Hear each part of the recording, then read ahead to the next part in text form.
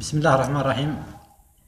اليوم معنا موضوع جديد مادة ال clinical chemistry لطلاب سنة أولى مختبرات معهد صحي انتربلاست الموضوع المحاضرة بيكون على ال lipid metabolism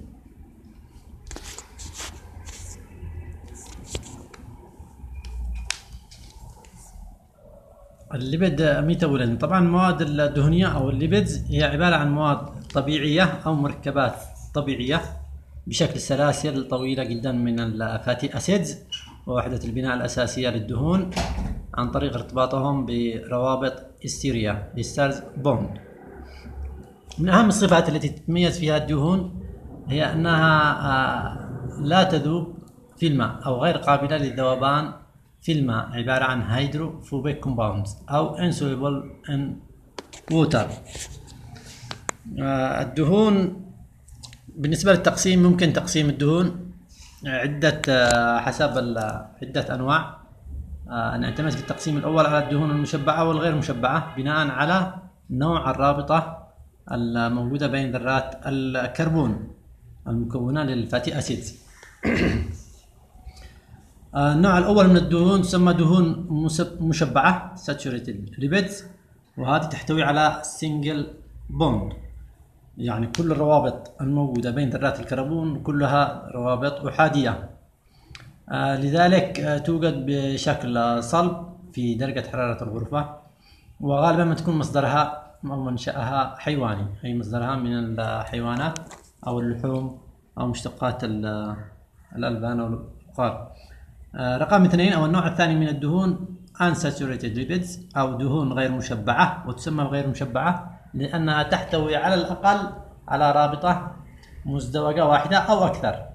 ولكن على الأقل رابطة مزدوجة واحدة توجد في هذا المركب الدهني.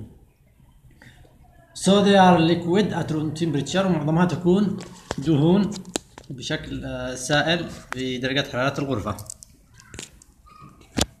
هناك تقسيمات أخرى. للدهون بناء على التركيب مثلا يتم تقسيم الدهون بناء على تركيبها إلى دهون بشكل سلاسل chain of fatty acids and التقسيم النوع الثاني هو عبارة عن دهون بشكل ring form مثل الكوليسترول والاسترويدات بشكل عام. النوع الثاني والنوع الأول هو عبارة عن سلاسل طويلة مثل دهون ال triglycerides أو ال phospholipids كلها عبارة عن مركبات دهنية بشكل سلسلي طبعا من أهم الدهون اللي بنتكلم عليهم في محاضرات اليوم هو الكوليسترول وال triglyceride الكوليسترول عبارة عن مركبات عضوية تتكون من مادات استرويدية. وتتكون من مادات استرويدية ولها شكل حلقي. وغالبا ما يكون الكوليسترول في درجة حرارة الغرفة بشكل صلب. أو عند حرارة الجسم.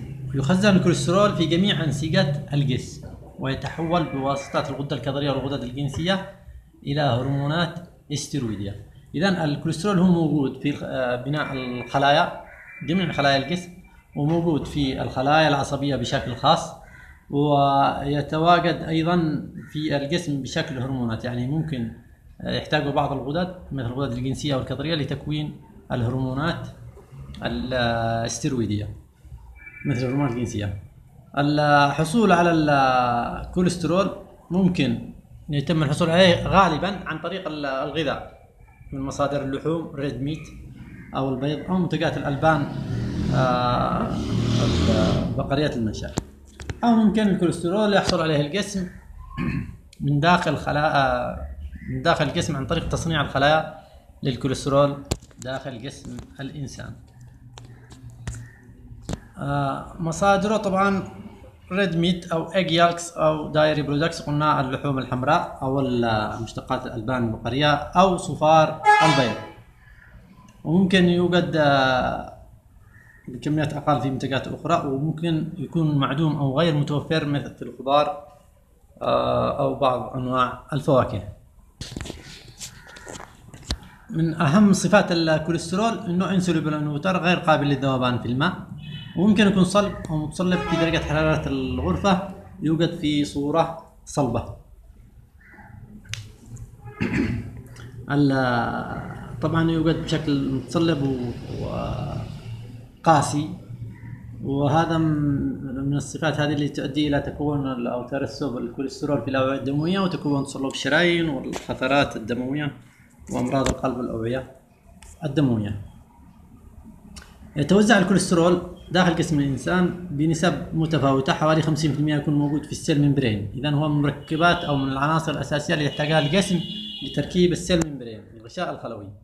وأيضا يتم تحويله converted to acid في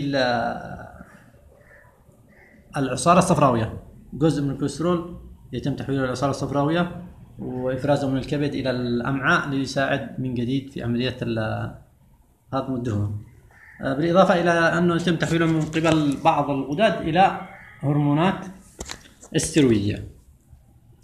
transport of cholesterol طبعا الكوليسترول نأخذه من من الطعام ويصل إلى المعدة ويبدأ الهضم في المعدة ويتم امتصاصه من الأمعاء ويتم نقله من الأمعاء إلى الدم والكبد عن طريق آه transport أو نواقل من أهم النواقل ال high density lipoprotein وال low density lipoprotein high density lipoprotein ال lipoprotein العالي الكثافة مهمته نقل ال transport excess cholesterol to the liver يعني يسمى ال good cholesterol الكوليسترول الجيد لأنه يقوم بنقل الدهون الزائدة من الأوعية الدموية إلى الكبد. وهذا يؤدي إلى تخفيف ترسبه داخل الأوعية الدموية وعدم تكون الخثرات أو تصلب الشرايين أو الجلطات. النوع الثاني اسمه ال ال أو ال low density lipoprotein lipoprotein منخفض الكثافة. وهذا ينقل الكوليسترول أو يقوم بتوفير الكوليسترول إلى الأوعية الدموية. وهذا يسمى بال bad cholesterol لأنه يساعد على تراكم الكوليسترول داخل الأوعية الدموية مما يؤدي إلى تكون تصلب في الشرايين وممكن يؤدي إلى الخثرات أو تكون thrombosis الكوليسترول يدخل في إنتاج ال bile salts أملاح الصفراء أيضا يدخل في تكوين أملاح الصفراء المهمة جدا والتي يتم افرازها من الحوصلة الصفراوية إلى الاثنى عشر أو إلى الأمعاء الدقيقة ليساعد في هضم الدهون نفسها وسرعة امتصاصها من الأمعاء إلى الدم.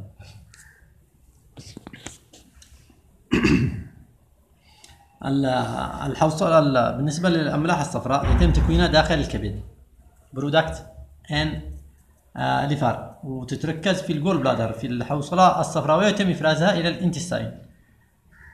عن طريق ال duct أو القناه الصفراوية قناة الحوصلة الصفراوية. آه ويتم إفرازها وتساعد في عملية ال digestion أو عملية الهضم حق الدهون وال absorption of fats from intestine تساعد يعني يعتبر ال bile salts محتوي على كميات من الكوليسترول ومهم جدا لعمليه استقلاب أو هضم الكوليسترول وامتصاصه واستقلابه. هذا بالنسبة للكوليسترول. النوع الثاني من الدهون ال triglyceride أو الدهون الثلاثية أو ثلاثيه الجليسرول وهذه عبارة عن دهون بسيطة لأنها عبارة عن fatty acid مرتبط مع كحول أو جليسرول كل جزيء من الجليسرول يتحد مع ثلاثة أحماض دهنيه ليكون مادة ال triglyceride ال triglyceride هذه أو الشحوم هي المخزون الرئيسي للدهون داخل جسم الإنسان. يعني معظم الدهون في أجسامنا هي عبارة عن دهون ثلاثيه أو triglyceride ويتم تخزين ال fatty acid بصورة triglyceride داخل adipose tissue لوقت الحاجة بحيث يستطيع الجسم أن يأخذ من هذا المخزون لإنتاج الطاقة. اذا مصدر مهم جدا للطاقة في حال نقص مادات الجلوكوز الجسم يقوم ب استقلاب مادة ال triglyceride لإنتاج ال fatty acid ومن ال fatty acid يتم تحرير كميات كبيرة جدا من الطاقة البديلة عن الطاقة التي يتم تحريرها من الجلوكوز. معظم الدهون الثلاثية يتم نقلها على ال chylomicrons من الأمعاء إلى الأنسجة. طبعا ال triglyceride يبدأ هضمه في الجهاز الهضمي من الفم والمعدة وإنزيم ال lipase في الأمعاء يتم هضم كامل ال triglyceride وتحرير تحرير. ال fatty acid أو الاحماض الدهنية. ومن ثم يتم امتصاصها ونقلها كدهون ثلاثية عن طريق نواقل تسمى ال chylomicrons وال VLDL very low density protein يعتبر مصدر غني جدا لإنتاج الطاقات الدهون الثلاثية تعتبر من أهم مصادر الطاقة بعد الجلوكوز. ال- مصدر الطاقة البديل لأنه من التريجليسيرايد يمكن تحرير كميات كبيرة جدا من الطاقة التي يحتاجها آه، جسم الإنسان.